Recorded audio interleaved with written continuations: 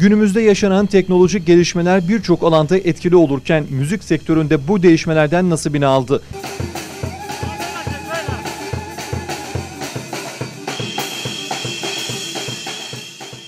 ...2000'li yılların başına kadar birçok düğün ve organizasyonlarda bateri kullanırken 2000 sonrasında yerini elektronik sistem alan orklar aldı.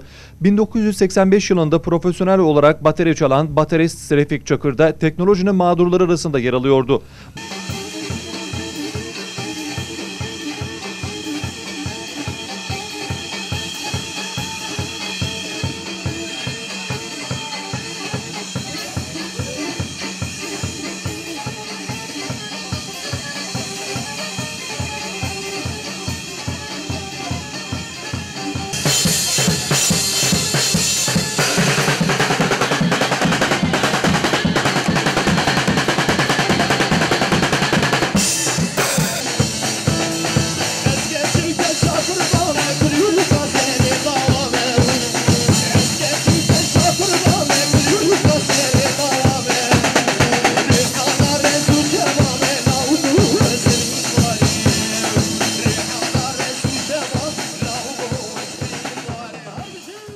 Baterist Çakır 15 yıl boyunca profesyonel olarak bateri çalıyor, canlı ritimle organizasyonlara renk katıyordu. 2000 yılında müziğe ara vermek zorunda kalan Çakır 14 yıl sonra yeniden eski günlerine döndü. Teknolojik gelişmelere rağmen bu kararı alan Çakır yeni bir bateri alarak müziğe geri döndü.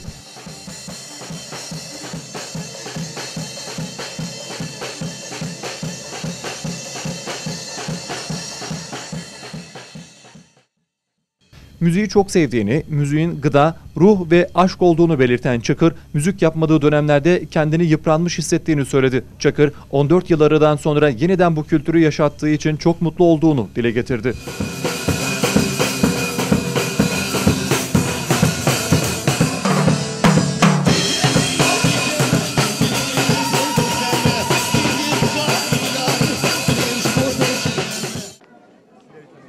Ben Refik Çakır. 1995'ten beri müzikle uğraşıyorum. Müziği çok seviyorum. Ee, müzik e, gıdadır, ruhtur, aşktır. Ee, müziksiz yapamıyorum. Aradan e, 13 yıl geçti. İşte yeniden e, müziğe başladım. Kendimi çok e, yıpranmış hissettim. Yeniden e, müzikle uğraşmaya karar verdim. E, zamanla teknolojinin gelişmesiyle e, ork çıktı.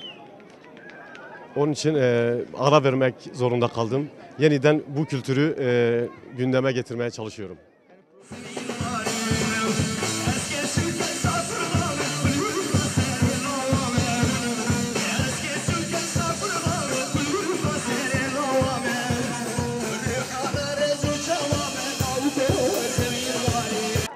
Ee, bir 10-15 yıldır canlı ritme e, şey vermiştik yani ara vermiştik. Batarist arkadaşımızı tekrar çağırdık. Biz zevk alıyoruz canlı ritimden. Ben kendim zaten e, baştan beri bu müziği yaparken canlı ritmi hep tercih ediyorduk ve maalesef bu canlı ritme birkaç yıldır ara verdik. Tekrar aramıza geldik. Güzel bir zevk alıyoruz ondan. Bundan sonra da inşallah devam edecek.